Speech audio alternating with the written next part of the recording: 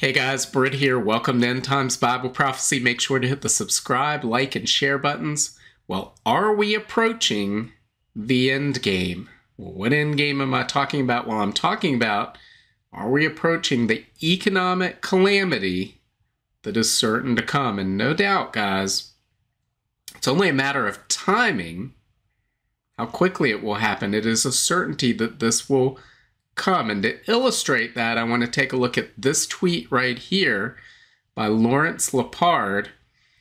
He's pinned this at the top of Twitter. He's had it up for some time. But this shows a chart of gross domestic product in the United States. So all the income generated in the United States and the national debt of the United States. And he says the blue line right here generates income to pay interest on the red line.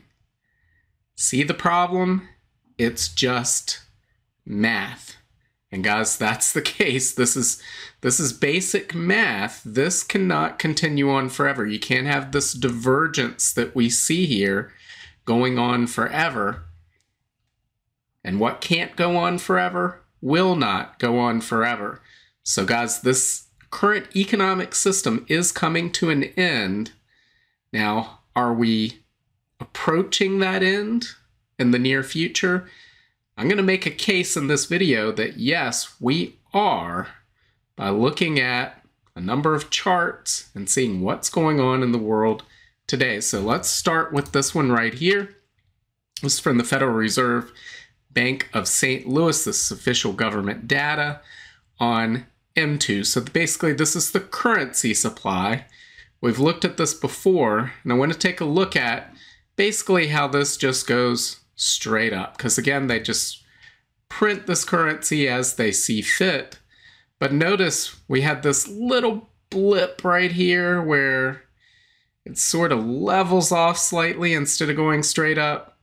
That little blip was the great financial crisis, right? So this almost uh, destroyed the entire international financial system because the currency supply in the United States uh, stopped rising, increasing exponentially for a very short time and sort of flattened off and leveled off. And then, of course, we see here, oh, it's starting to go down, right? So, what does that mean? If this little blip here led to the great financial crisis, what is that going to cause? And if we look at the same chart on a year over year percentage change basis, we see that it's actually negative. We did not see that during the great financial crisis. In fact, we haven't, this chart doesn't go back far enough, but there are charts that can be found that do go back far enough because you'll find the government tends to change these data sets so that you can't make those comparisons because they don't they don't want the truth getting out. But the last time we had an extended period of time like this with negative year over year growth in the money supply, or they what they call the money supply, I call the currency supply. Last time we saw that for this length of time was in the middle of the Great Depression. So, so that should tell you where we stand right now, what we're on the precipice of seeing. How about this? Let's take a look at this chart. This is bank credit You'll see a very similar thing going on here because the extension of bank credit in the economic system we have is actually how they increase the currency supply. It's how more dollars are created. It's not really a printing press necessarily just printing off dollar bills and throwing them out into the economy, but it's through the expansion of bank credit, loans being made, that new dollars are created. And as you see here, we had this straight up and then, oh, a little bit, not so much of an increase. Well, that was the dot com bust crash, right? And then we had, oh, an actual somewhat of a decline there. That was the great financial crisis. We're starting to see the exact same thing happen here. I want to point out when we see something like this, where we see this exponential expansion, and if it slows down, it threatens to blow up the whole system. what would we call that when we have something that requires an ever expanding pool of new people? And if that comes to a stop, the whole thing falls apart. Well, we call that a Ponzi scheme or a pyramid scheme. They're outlawed for a reason, and yet, guys, our entire financial system globally today is built on a Ponzi scheme. It requires an exponential increase in debt and in currency creation in order to keep going. And the moment that slows down, the moment it starts to reverse, the entire system is under threat of implosion. So, again, we can look at that same chart year over year in percentage basis, and we see this going negative for the first time since the great financial crisis. Really, the only time that's on record other than the great financial crisis. So, that should again give us a, some sort of insight into where we stand right now. So, let's take a look at another chart. Well, this is one we've been watching. This is the Bank Term Funding Program. So, if you'll notice, for years and years, well, this was zero because it didn't exist, right? They they created this out of thin air, conjured it out of thin air back in March 2023, so about 10 months ago, in order to basically, well, keep all of the banks in the world from collapsing. Let's call it that. There were bank runs at Silicon Valley Bank, which felt which basically went under. We had Signature Bank, First Republic Bank. Later we had Credit Suisse. Had to was forced to be bought out by UBS. So we had all these bank failures back in the spring of 2023 in real terms, not just in today's inflation adjusted returns, but um, even if you had this back in 2008, those the failure of those banks constituted the second, third, and fourth largest bank failures in U.S. history. And collectively, their assets were greater than all the bank failures of 2008. So, this program was created to basically stabilize the banking system and keep other banks from going under. So, if we look at this on a, on a one year chart, we can see how this came about in March as a result of that and how it got utilized. And it leveled off at around $100 billion. So it took $100 billion to backstop the banking system and uh, stop these bank runs that threaten to take down the entire US banking system. Of course, that would mean the entire global banking system as a result of it. We started talking a few months ago about how this started to go up in November when they had all of these glitches that were going on glitches in Japan, glitches at the largest banks in the United States. Oh, there's uh, some some ransomware attacks here. It was always a glitch, it was always a coincidence. And all along the way, each week we saw this going up. Well, now we sit at $167.7 billion. This is up 53% since November 1st and 18% since January 3rd. So we're seeing significant increases in this. Now, some people are looking at this and saying, oh, Britt, this is not a problem at all. This, this is not a sign of banking stress. What's going on here is there is a difference between the interest rate that the Federal Reserve charges under this program and the interest that they would provide a bank on the reserves it parks with the Federal Reserve. And so there's this opportunity for banks to arbitrage that and they make the difference. So this is actually, they're taking advantage of this program to make money. It's not a sign of stress. And I would say, I find that uh, believable, I guess you could say. but I'm not sold on that idea. And it does, and if I'm wrong, I will come out and say I was wrong this is what was really happening. There was no bank stress. I won't hesitate to say that. However, we won't have to wait long to find out because here we have this press release from the Federal Reserve from last Wednesday, January 24th. As part of that press release, they announced that effective immediately, so effectively when effective Wednesday, January 24th, they to put it in simple terms, ended that loophole or arbitrage opportunity.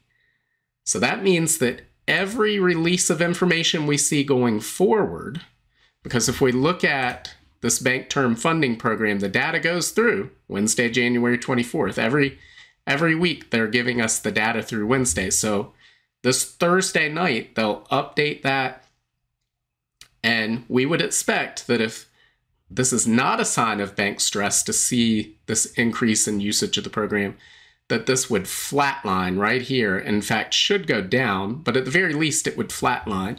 But if this continues to go up in the weeks ahead, then that means there is definitely banking stress in play.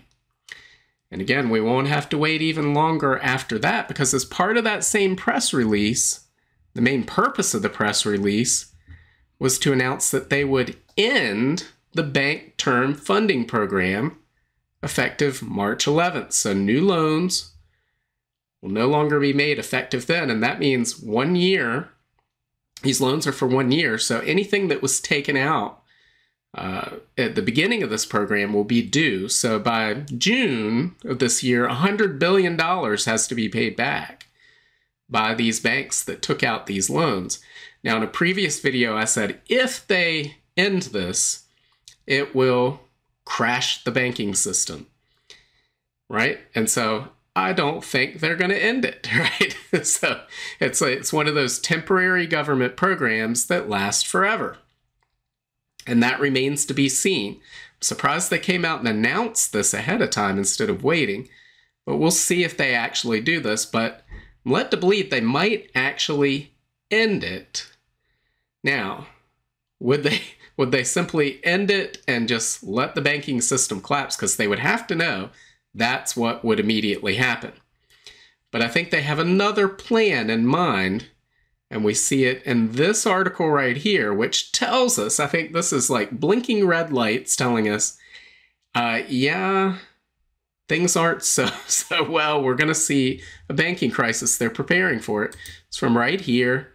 This is from the Business Times. It says United States prepares rule forcing banks to tap Fed discount window. Now, the Fed discount window is essentially the the Federal Reserve is seen as the lender of last resort, right? So you hear that term talked about specifically with in regard to the Great Depression and backstopping failing banks. If if banks are uncertain of the credit worthiness of other banks and other financial institutions, they're less likely to lend to them.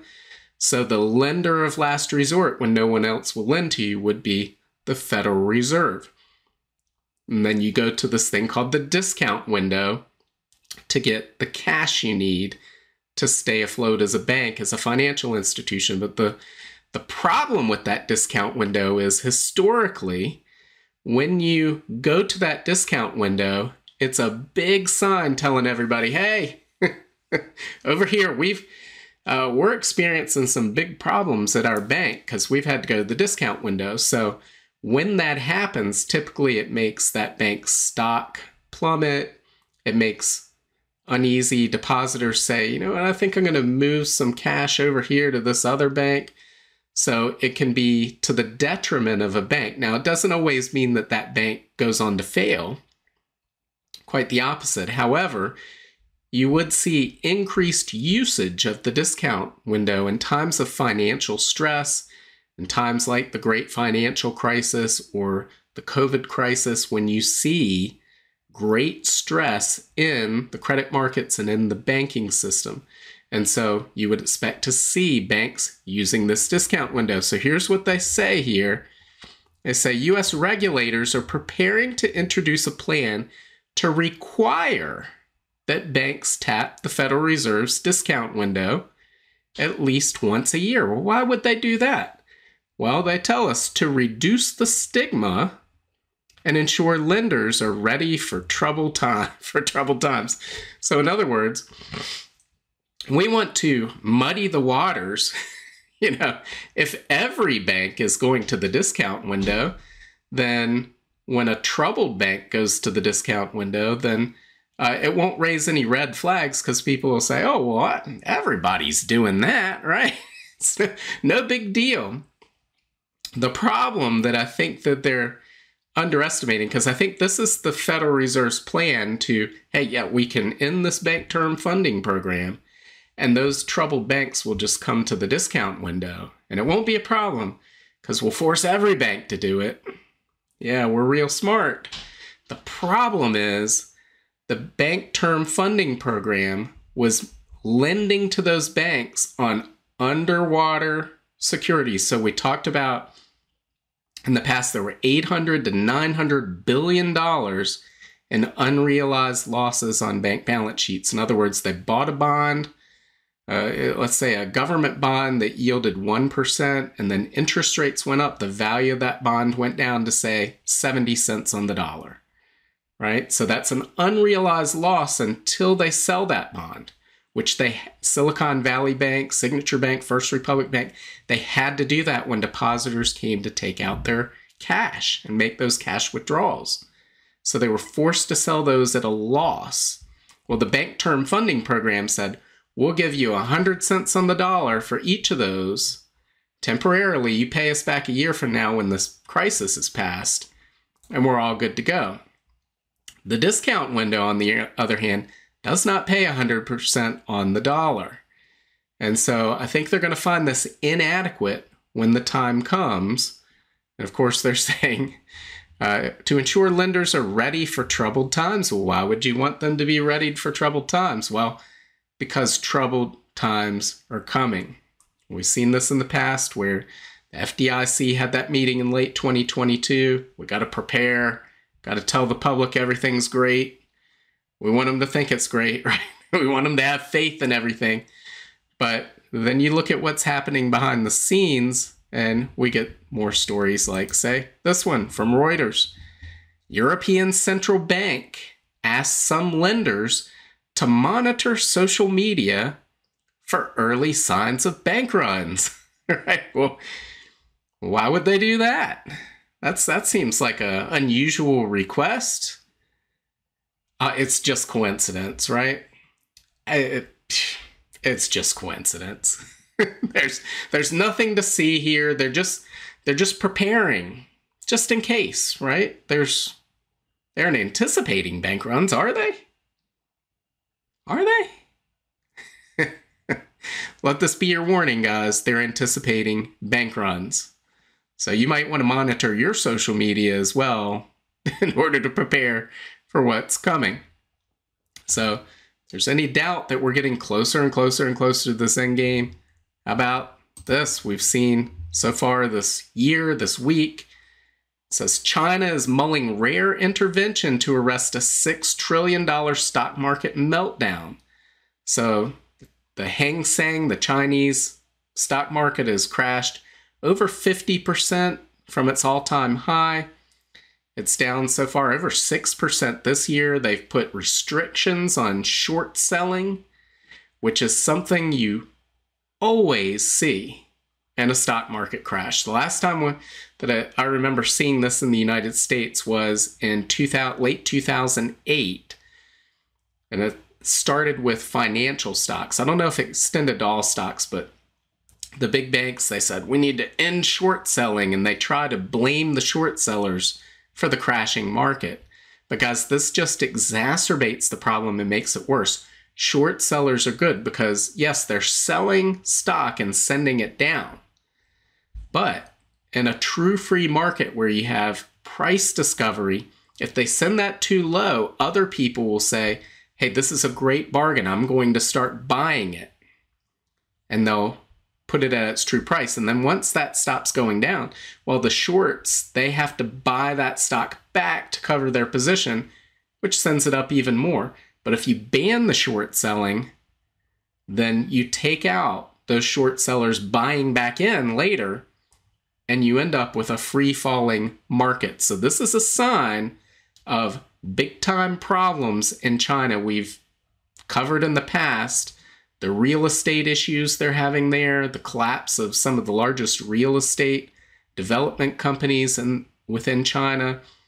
We're seeing foreign investment fleeing China at an unprecedented rate. So, this is a big deal. China is the second largest economy in the world, according to most statistics. I believe actually it's third behind the European Union and the United States because they typically don't count the European Union as a total economy. But either way, it's a very large economy. And so when China is experiencing troubles, that's going to spill over into the rest of the world. And we've already talked about all the problems Europe is having. And we know about the problems the United States is having that we just talked about. So when you have all the world's top economies declining at the same time, well, you end up with a global depression, guys.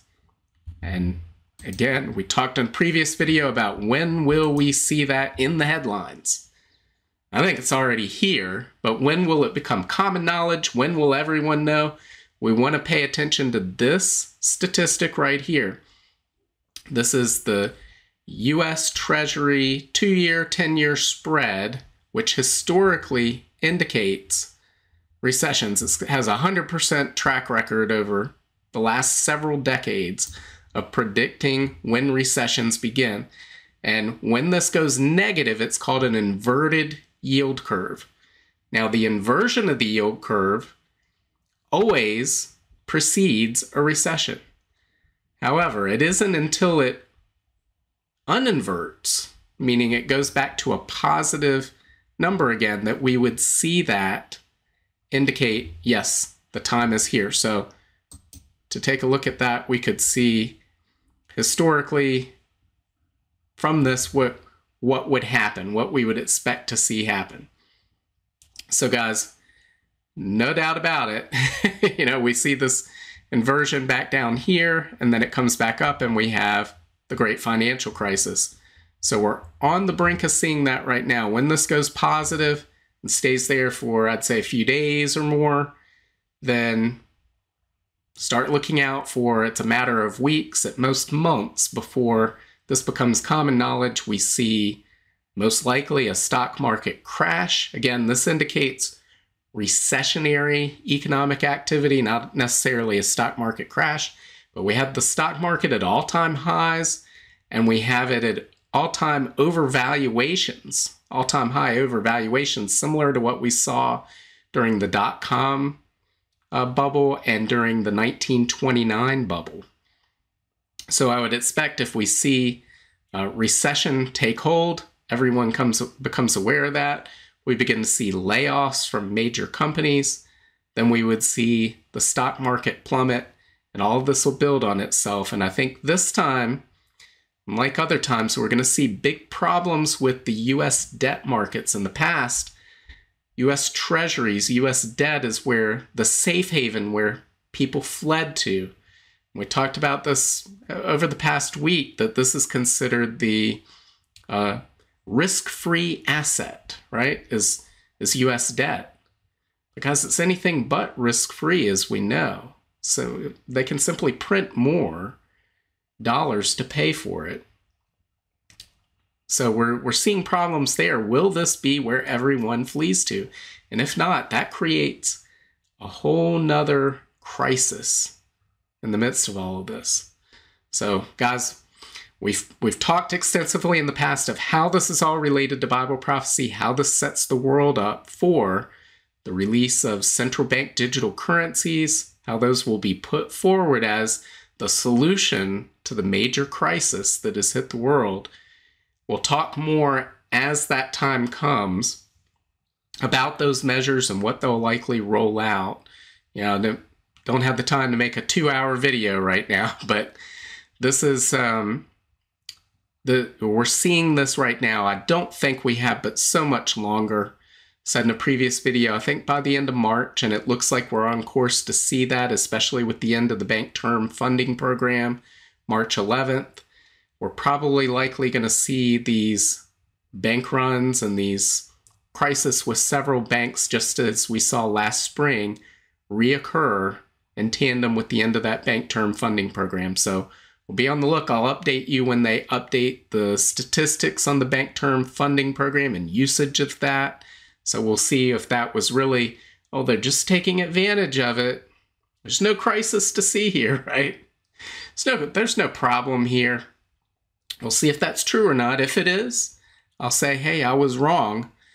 But I also know this the European Central Bank isn't saying to monitor social media for signs of bank runs just because they think it would be a, a pretty good idea, right?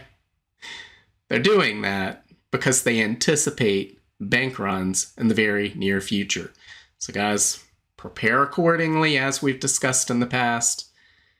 Don't let any of this stuff worry you. There's a lot of turmoil ahead. Jesus said the time preceding his return would be like birth pains, meaning they will these types of events will increase in frequency and intensity as we near the return of Christ. So this should come as no surprise, but knowing that should give you comfort if you know Jesus. If your Lord and Savior is Jesus Christ, then you will have a peace that surpasses understanding no matter what's happening in this world because you've built your life on solid rock, and no storm, economic, financial, no matter what it is, societal breakdown, it doesn't matter because you know Jesus and the storms of this world cannot move you. So, guys, if you don't know Jesus, make sure you know him. So, what do you think? Let me know. Leave your comments below. Make sure to hit the like, share, and subscribe buttons. And God willing, I will see you on Wednesday. Bye.